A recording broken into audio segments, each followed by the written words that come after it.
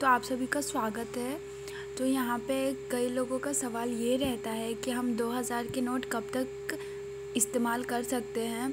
तो आज जैसे कि 21 जून है तो मैं आज आपको ये वीडियो बना के मतलब बता रही हूँ कि आखिरकार आरबीआई की गाइडलाइन है क्या?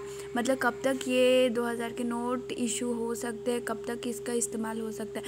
तो यहाँ पे देखिए स्टार्ट, यहाँ पे कुछ ये दिया हुआ स्टार्टिंग में twenty three two thousand twenty three any one holding rupees two thousand notes in their possession can exchange it with other denomination in any bank branch the Reserve Bank of India R B I has started that rupees two thousand currency note will consider legal tender even after September 30 2023 तो आप यहाँ पे कोई भी bank के branch में आप जाके अपना नोट को दे सकते हैं और सितंबर सितंबर थर्टी के बाद भी वो लीगल मतलब रहेगा तो आप अभी कोई बैंक में अगर डिपॉज़िट करना है या कुछ तो आप इस, वहाँ पर भी दे सकते हैं, इसमें कोई चिंता की बात नहीं है।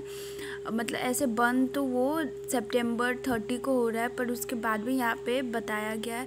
अगर आपको ये वीडियो इन्फॉर्मेटिव लगी तो प्लीज़ लाइक शेयर कर दीजिएगा, और दूसरी वीडियो जल्द आएगी। Thank you